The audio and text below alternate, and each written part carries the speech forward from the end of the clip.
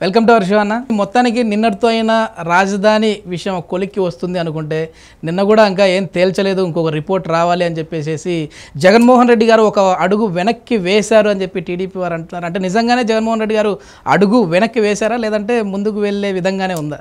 సరే ఆంధ్రప్రదేశ్ రాష్ట్ర ప్రజల కోసం ఒక అడుగు వెనక్కి వేయటానికైనా వంద అడుగులు ముందుకు వేయటానికైనా మా నాయకుడు జగన్మోహన్ రెడ్డి గారు ఎప్పుడు ఆంధ్రప్రదేశ్ రాష్ట్ర ప్రజల కోసం ఆలోచిస్తాడు కాబట్టి ఏదైనా ఒక మంచి డెసిషన్ కోసం అంటే మా ఆంధ్రప్రదేశ్ రాష్ట్రంలో ఉన్న పదమూడు జిల్లాల్లో సమానంగా అభివృద్ధి చెందేటట్టుగా పాలనా వికేంద్రీకరణతో పాటు అభివృద్ధి వికేంద్రీకరణ కూడా జరగటం కోసం నిన్న క్యాబినెట్లో సుదీర్ఘంగా దీని మీద చర్చ జరిగింది. ఏదైతే జి జిఎన్ రావు గారి కమిటీ మీద అదేవిధంగా బోస్టన్ గ్రూప్కి సంబంధించిన నివేదిక కూడా రావాల్సి ఉంది కాబట్టి ఈ రేపు జనవరి మూడవ తారీఖున ఆ నివేదిక కూడా వచ్చింది కాబట్టి ఈ రెండు నివేదికల్ని పరిశీలించడానికి ఒక హై లెవెల్ కమిటీని ఏర్పాటు చేసి దాంట్లో ఆంధ్రప్రదేశ్ రాష్ట్రంలో ఉన్న మంత్రులు కొంతమంది అదేవిధంగా నిపుణులు అదేవిధంగా అధికారులతో కూడిన ఒక హై లెవెల్ కమిటీని ఏర్పాటు చేసి వీటికి ఇప్పుడు ఆంధ్రప్రదేశ్ రాష్ట్రంలో ఇప్పుడు ఈ రెండు కమిటీలను వేశారు కాబట్టి రెండు కమిటీలు ఏమేమి రిపోర్ట్స్ ఇచ్చినాయి దీని పరంగా ఎక్కడెక్కడ ఏమేమి ఉండాలి ఎగ్జిక్యూటివ్ క్యాపిటల్ ఎక్కడ ఉండాలి జుడిషియల్ క్యాపిటల్ ఎక్కడ ఉండాలి అదేవిధంగా లెజిస్లేటివ్ క్యాపిటల్ ఎక్కడ ఉండాలి లెజిస్లేటివ్ క్యాపిటల్తో పాటు అమరావతి ప్రాంతంలో ఇంకేమేమి ఉండాలి? ఎడ్యుకేషన్ ఇన్స్టిట్యూషన్స్ ఉండాలా? ఐటీ హబ్స్ ఉండాలా? అదేవిధంగా పరిశ్రమ సంబంధించి ఉండాలా? ఇంకేమేం చేస్తే అమరావతి ప్రాంతం అభివృద్ధి చెందుతుంది? అమరావతి రాజధానిగా ఏ విధంగా అభివృద్ధి చెందుతుంది? విశాఖపట్నం ఎగ్జిక్యూటివ్ క్యాపిటల్తో పాటు ఏమేమి ఉండాలి? కర్నూలులో జ్యుడిషియల్ క్యాపిటల్తో పాటు ఏమేమి ఉండాలి? ఆంధ్రప్రదేశ్ రాష్ట్రంలో ఉన్న పదమూడు జిల్లాల్లో ఏమేమి ఉండాలి అనే దాని మీద డిస్కషన్ జరిగిద్ది. దాని తర్వాత ఖచ్చితంగా ఈ నెల రోజుల్లోనే దీనికి ఒక మంచి నిర్ణయం జగన్మోహన్ రెడ్డి గారు అసెంబ్లీ సాక్షిగా అనౌన్స్ చేయబోతున్నారని మాత్రం చెప్తాం. నిన్న చంద్రబాబు గారి ప్రెస్ మీట్ చూసిన తర్వాత మీ వైసీపీ నాయకులకు ఏమనిపించింది సార్? అంటే ఆయన చాలా ఆవేదనతో మాట్లాడిన మాటలు ఆవేశంతో మాట్లాడిన మాటలు అన్నట్లుగానే ఉన్నాయి. అసలు ఒక్క రూపాయి కూడా లేకుండానే అమరావతిని అభివృద్ధి చేయొచ్చు అని చెప్పేసి ఆయన గట్టిగా మాట్లాడారు. మరి అదే రూపాయి లేకుండా గత ప్రభుత్వంలో ఎందుకు చేయలేదు అన్న ఆలో ఆలోచన కూడా ప్రతి సామాన్యునికి వస్తుంది. ఎలా అనిపిస్తుంది ఈ మాటలు? నవీన్ గారు చంద్రబాబు నాయుడు ప్రెస్ మీట్లు ఏం కొత్త కాదు. రోజుకు ఒక ప్రెస్ మీట్ పెడతాడు అలవాటే. చెప్పిందే చెప్పి సోది చెప్పటం చంద్రబాబు నాయుడికి ఆ తెలుగుదేశం పార్టీ వాళ్ళకి అలవాటు అయిపోయింది. ఈ చాదస్తం ఎక్కువైపోయింది అంటారు వయసు మీద పడ్డాక ఆ చాదస్తం ఎక్కువైపోయి ఏం మాట్లాడుతున్నాడో తెలియని స్థితికి అతను వెళ్ళిపోయాడు. ఆ ప్రెస్ మీట్ మీరు చూస్తే ఏ ఎక్కడ రాజధానికి ఏ రాజధాని కూడా తెలియకుండా ఆయన మాట్లాడుతూ ఉన్నాడు. తడబడతా ఏం మాట్లాడుతున్నాడో కూడా తెలియని స్థితికి ఆయన వెళ్ళిపోయాడు. ఇదేంటంటే ఇక్కడ ఒక ఇరవై తొమ్మిది గ్రామాల్లో రాజధాని ఏర్పాటు చేయాలి అని అతను ముందే ప్రీప్లాన్డ్గా ఆలోచించి దాని చుట్టుపక్కల కొన్ని వేల ఎకరాల భూములను కొని వాళ్ళ బినామీల చేత కొనిపించి ఇన్సైడర్ ట్రేడింగ్ అనే ఒక భారీ కుంభకోణానికి అమరావతిలో Chandrababu Naidu and co already దానికి ఒక పక్కా ప్రణాళిక ప్రకారం ఏర్పాటు చేసుకుంది కాబట్టే ఈ దుస్థితి ఈరోజు రావడానికి గల కారణం. చంద్రబాబు నాయుడు ఆంధ్రప్రదేశ్ రాష్ట్ర రాజధాని అమరావతిని నిజంగా అభివృద్ధి చేసి వరల్డ్ క్లాస్ వరల్డ్ క్లాస్ అని చెబుతున్నాడు కదా. ఆ వరల్డ్ క్లాస్ సిటీగా నిజంగా చేయాలని అనుకున్నప్పుడు ఖచ్చితంగా జరిగేది. కానీ ఆయన చేయాలనుకుంది వరల్డ్ క్లాస్ రియల్ ఎస్టేట్ వ్యాపారం నాట్ వరల్డ్ క్లాస్ రాజధాని నాట్ వరల్డ్ క్లాస్ క్యాపిటల్ ప్రజా రాజధాని కాదు చంద్రబాబు నాయుడు ఆలోచించింది. అక్కడ ఉన్న భూములతో రియల్ ఎస్టేట్ వ్యాపారం చేయాలనే కుట్రకి తెరలేపాడు కాబట్టే ఆంధ్రప్రదేశ్ రాష్ట్రానికి ఈరోజు ఈ దుస్థితి ఏర్పడిందని మాత్రం చెప్పదలుచుకున్నాం. రెండొక విషయం ఇంకొకటి ఇక్కడ ఇన్సైడర్ ట్రేడింగ్కి సంబంధించి నిన్న క్యాబినెట్ మీటింగ్లో ఏదైతే ఇక్కడ సబ్ కమిటీని ఏర్పాటు చేసి ఆ సబ్ కమిటీ రిపోర్ట్ మీద నిన్న చర్చించి సే- నిపుణులతో న్యాయ నిపుణులతో చర్చించిన తర్వాత సిబిఐ ఎంక్వైరీయో సిఐడి ఎంక్వైరీయో లేదంటే లోకాయుక్తలోనో రేపు వేయబోతున్నారు కాబట్టి ఎంక్వైరీ. అందుకని నిన్న ఆ మైండ్ బ్లాక్ అయ్యి ఏం మాట్లాడుతున్నాడో తెలియని స్థితికి చంద్రబాబు నాయుడు వెళ్ళిపోయాడని మాత్రం చెప్తాం మనం చూస్తే మీడియా ముఖంగా రైతులందరూ వచ్చి వారు చాలా ఆవేదన వారి మాటల్లో మనకు కనపడుతూ ఉంది. అలాంటి రైతులను కూడా పెయిడ్ ఆర్టిస్టులు అని అంటున్నారు వైసీపీ వారు. అంటే ఇందులో ఎంతవరకు అంటే ఒక మానవత్వాన్ని కూడా వైసీపీ నాయకులు మర్చిపోతున్నారని చెప్పేసి అంటున్నారు టీడీపీ వారు. నిజంగానే అందులో భూములు ఇచ్చిన వారు సొంతంగా భూములు ఇచ్చిన వారు ఉంటారు. టీడీపీ నాయకులు ఉండొచ్చు లేదంటే కార్యకర్తలు ఉండొచ్చు చంద్రబాబును అభిమానించేవారు ఉండొచ్చు నిజమైన రైతులు కూడా ఉండొచ్చు. వాళ్ళను కూడా మీరు ఈ విధంగా మాట్లాడితే ఎలా సార్? నవీన్ యాదవ్ గారు ఇక్కడ ఒక్కటే గమనించాలి. ఆంధ్రప్రదేశ్ రాష్ట్రంలో ఉన్న పదమూడు జిల్లాల రైతులు మాకు ముఖ్యం. నాట్ ఓన్లీ అమరావతి రైతులు. ఆంధ్రప్రదేశ్ రాష్ట్రంలో ఉన్న ఐదున్నర కోట్ల మంది ప్రజలు ఈ ప్రభుత్వానికి ముఖ్యం. మా వైఎస్ఆర్ కాంగ్రెస్ పార్టీకి కూడా ముఖ్యం. ఇక్కడ ఇరవై తొమ్మిది గ్రామాలలో మీరు జరుగుతున్న ఏదైతే వీటికి సంబంధించిన కార్యక్రమాలను మీరు ఒకసారి చూస్తే ఇరవై తొమ్మిది గ్రామాల్లో జరగటం లేదన్న విషయం కూడా గ్రహించాలి.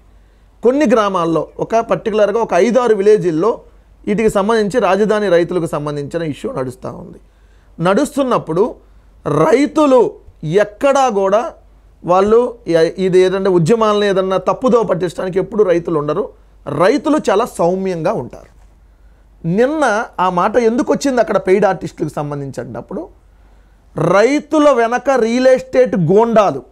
తెలుగుదేశం పార్టీకి సంబంధించిన రియల్ ఎస్టేట్ గోండాలు అక్కడుండి మహిళా జర్నలిస్టుల మీద దాడి చేస్తారండి మీ వార్తల్ని కవర్ చేయడానికి వచ్చిన మహిళా జర్నలిస్ట్ని రైతులైతే దాడి చేయరు.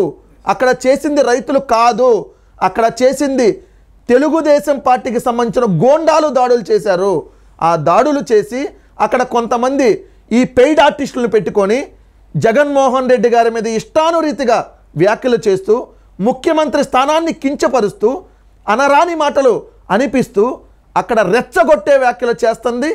తెలుగుదేశం పార్టీకి సంబంధించిన పెయిడ్ పెయిడ్ పెయిడ్ ఆర్టిస్టులు రైతులు కాదు. రైతులు చాలా సౌమ్యంగా ఉంటారు. రైతులు వాళ్ళకున్న బాధను ఖచ్చితంగా వెళ్ళబుస్తున్నారు. ప్రా- దాన్ని దాన్ని మేము అక్కడ చేస్తున్న వాళ్ళందరూ పెయిడ్ ఆర్టిస్టులు అంటలేదు. ఆ కొంతమంది పెయిడ్ ఆర్టిస్టుల ముసుగులో రైతుల ఉద్యమాన్ని కూడా నిజంగా నీరుగార్చడానికి కూడా ప్రయత్నిస్తారు వాళ్ళు. దీన్ని ఎక్కడొక్కడికో తీసుకొని వెళ్ళి. నిజంగా అంటే రాష్ట్రంలో అశాంతి కలగజేసి ఇక్కడ ఏదో గొడవలు క్రియేట్ చేస్తే ఏదేదో ఇక్కడ జరిగిపోయిద్ది ఇక్కడ మొత్తం అశాంతి కలగజేయాలి అనే ఒక కుట్రకి తెలుగుదేశం పార్టీ పెయిడ్ ఆర్టిస్టులు తెరలేపారు కాబట్టి మా నాయకులు దాని మీద మాట్లాడారు తప్ప మేము ఎక్కడా రైతులను కించపరచలేదు. ఇది రైతు ప్రభుత్వం. రాజశేఖర్ రెడ్డి గారు కానీ జగన్మోహన్ రెడ్డి గారు కానీ రైతుల పక్షపాతి రైతే రాజుగా బతకాలనుకునేది మా ప్రభుత్వం. రైతుల దగ్గర బలవంతంగా భూములు లాక్కుంది. ఆ ప్రభుత్వం రైతుల్ని ఈరోజు ఈ పరిస్థితికి తీసుకొచ్చింది ఆ ప్రభుత్వం. రైతుల్ని మోసం చేసింది ఆ ప్రభుత్వం. కానీ మాకు రైతుల మీద చిత్తశుద్ధి ఉంది.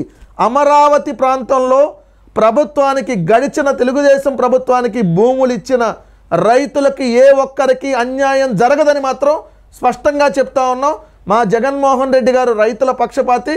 ఖచ్చితంగా మీకు ఒక మంచి పాజిటివ్ డెసిషన్ వచ్చింది. మీ మీరు భూములు ఇచ్చిన రైతులు ఎవరికి మాత్రం అన్యాయం జరగదని మాత్రం స్పష్టంగా చెప్తాం. అమరావతి రైతులు ఒక మాట అంటున్నారు. కర్నూలు ప్రాంతంలో హైకోర్టు వచ్చినంత మాత్రాన ఒరిగేది ఏమీ లేదు జిరాక్స్ సెంటర్లు పెరగడం తప్ప అని చెప్పేసి మీరు దానికి మోసపోయి ఎందుకు అంత వేరే చోట అంటే రాజధాని ఒక చోట హైకోర్టు ఒక చోట పెట్టాలని మీరు ఎందుకు అనుకుంటున్నారని చెప్పేసి ఎంతవరకు దీన్ని నిజంగానే హైకోర్టు వచ్చినంత మాత్రాన అక్కడ అభివృద్ధి జరుగుతుందంటారా? లేదంటే వారు చెప్పినట్టుగా ఉంటుందా? హైకోర్టు రావటం వల్ల ఏంటంటే సార్ హైకోర్టుకు సంబంధించిన కార్యకలాపాలకు సంబంధించి ఆ చుట్టుపక్కల ఎవరైతే కొంత ఎంప్లాయీస్ పెరగటం కానీ కొంతమంది లాయర్స్ వాళ్ళ ఆఫీసులు పెట్టుకోవటం కానీ అదేవిధంగా జిరాక్స్ సెంటర్లు అని అంటున్నారు వాళ్ళు. జిరాక్స్ సెంటర్లు కాదు నోటరీకి సంబంధించి జిరాక్స్ సంబంధించి అదేవిధంగా హోటల్స్ కానీ ఇవన్నీ డెవలప్ అవుతాయి అక్కడ. రెండోది ఓన్లీ హైకోర్టే ఇస్తామని అంటలేదు మీకు అక్కడ. అక్కడ ఇంకేమేమి ఉండాలి. జ్యుడిషియల్ క్యాపిటల్ కర్నూలు అనుకున్నప్పుడు జ్యుడిషియల్కి సంబంధించిన విభాగాలు వస్తాయి. దానికి సంబంధించి ఓన్లీ హైకోర్టు రాదుగా మిగిలిన కూడా జ్యుడిషియల్లో కొన్ని ఉన్నాయి కమిషన్స్ ఇవన్నీ కూడా రావచ్చు. దానికి సంబంధించి ఇంకేమేమి పెట్టాలి? అంటే ఇండస్ట్రియల్గా కూడా కొంత కొన్ని ఏరియాని తీసుకొని డెవలప్ చేయాలా? ఇట్లా రకరకాల ప్లాన్స్ ఉన్నాయి ప్రభుత్వానికి. సో ఏంటంటే వీళ్ళు ఇప్పుడు ఇక్కడ చెప్పట్లేదు రైతులు ఈ విధంగా మాట్లాడరు ఇప్పుడు. ఇప్పుడు రైతులు మాట్లాడే విధానం వేరే ఉంటుంది. ఎందుకంటే రైతులు కాదు ఇక్కడ మాట్లాడుతుంది. కొంతమంది పెయిడ్ ఆర్టిస్టుల చేత మాట్లాడిస్తూ ఉన్నారు. వాళ్ళ చేతే వాళ్ళ ఛానల్స్లో చూపించుకొని వెళ్ళే మీడియాలో ఇక్కడ ఏదో జరిగిపోతుందని కుట్రకి తెరలేపాలని చూస్తున్నారు. ఎక్కడా లేదు ఆంధ్రప్రదేశ్ రాష్ట్రంలో ఈరోజు అందరూ బాగున్నారు. ప్రజలందరూ జగన్మోహన్ రెడ్డి గారి నిర్ణయాన్ని మనస్ఫూర్తిగా స్వాగతిస్తూ ఈరోజు విశాఖపట్నంలో చూసుకుంటే జగన్మోహన్ రెడ్డి గారికి స్వాగత ఏర్పాట్లు చూస్తే అసలు చేశారు. మాన ఇరవై నాలుగు కిలోమీటర్ల మానవహారం ప్రజల లైన్లో వేలాది మంది ప్రజలు నిలబడి స్వాగత ఏర్పాట్లు చేస్తా ఉన్నారు. రేపు ఎక్కడికి వెళ్ళినా చేస్తారు. మాకు ఎక్కడికి అమరావతికి వెళ్ళినా అలా చేస్తారా? ఖచ్చితంగా సార్. అమరావతి ప్రాంతంలో మా పార్టీకి సంబంధించి ఇదే గుంటూరు కృష్ణ జిల్లాలకు సంబంధించి గుంటూరులో పదిహేడు అసెంబ్లీ సీట్లు ఉంటే పదిహేను అసెంబ్లీ సీట్లు గెలిచాం కేవలం రెండే ఓడిపోయాం. అదేవిధంగా ప్రకాశం జిల్లా సారీ కృష్ణా జిల్లాలో చూసుకుంటే పదహారు అసెంబ్లీ సీట్లు ఉంటే రెండే ఓడిపోయాం. పద్నాలుగు గెలిచాం. ఆ రాజధాని ప్రాంతంలో సాక్షాత్తు నారా లోకేష్ పోటీ చేస్తే ఓడిపోయాడు. సో ఇది అదే సార్ ఈ ప్రశ్న ఈ. ప్రశ్న ఎందుకు అడిగానంటే అమరావతి వెళ్ళినా కూడా అలాగే చేస్తారని. మేము వచ్చేసేసి జగన్మోహన్ రెడ్డి గారికి ఓటు వేశాము. ఆయన ఒక అవకాశం ఇవ్వండి అని చెప్పేసి ఆయన అడిగారు కాబట్టి ఓటు వేశాము. ఇప్పుడు మా చెప్పుతో మేము కొట్టుకుంటున్నాం అంటున్నారు. నవీన్ గారు ఇప్పుడు స్పష్టంగా చెప్తా ఉన్నా మళ్ళీ మీరు ఈ బిట్ తర్వాత నేను తర్వాత కూడా ప్లే చేస్తానికి మీకు కూడా ఉండిద్ది. అమరావతి ప్రాంతంలో రైతులు జగన్మోహన్ రెడ్డి గారికి పూలతో స్వాగతం చెప్పబోతా ఉన్నారు. అమరావతి ప్రాంతంలో రైతులు జగన్మోహన్ రెడ్డి గారికి పాలాభిషేకం చేయబోతా ఉన్నారు. అతి త్వరలో. మీరు ఇది ఖచ్చితంగా మళ్ళీ తర్వాత ప్లే చేయండి. వచ్చినప్పుడు వెంకటరెడ్డి గారు ముందు ఇదే మాట్లాడారని చెప్పి ఖచ్చితంగా సార్ రైతుల పక్షపాతి గుడ్ న్యూస్ గుడ్. న్యూస్ వినబోతా ఉన్నారంటారు అమరావతి రైతులు. జగన్మోహన్ రెడ్డి గారు రైతుల పట్ల ఎవరికైనా ప్రేమ ఉంది ఈ ఆంధ్రప్రదేశ్ రాష్ట్రంలో అంటే ఆనాడు దివంగత రాజశేఖర రెడ్డి గారికి ఈనాడు ముఖ్యమంత్రి జగన్మోహన్ రెడ్డి గారికి అని మాత్రం గర్వంగా చెప్తాం ఏ ఒక్క రైతుకి అన్యాయం జరగదు. రైతులు మీకు పూలతో పాలాభిషేకం చేయడానికి సిద్ధంగా ఉంటున్నారు. మీరు చూసుకోండి రేపు. ఓకే సార్ మొత్తానికి మరి కొద్ది రోజుల్లో అమరావతి రైతులకైతే గుడ్ న్యూస్ రాబోతుంది. ఆ రైతులే జగన్మోహన్ రెడ్డి గారికి పాలాభిషేకం చేస్తారని చెప్పేసి మీరు చెప్తా ఉన్నారు. మరి చూద్దాం మరి కొద్ది రోజుల తర్వాత మళ్ళీ మీతో నెక్స్ట్ వీక్ ఇంటర్వ్యూలో కలుసుకున్నప్పుడైనా ఈ విజువల్స్ మనం చూస్తామేమో అమరావతి రైతుల విషయంలో. Okay thank you sir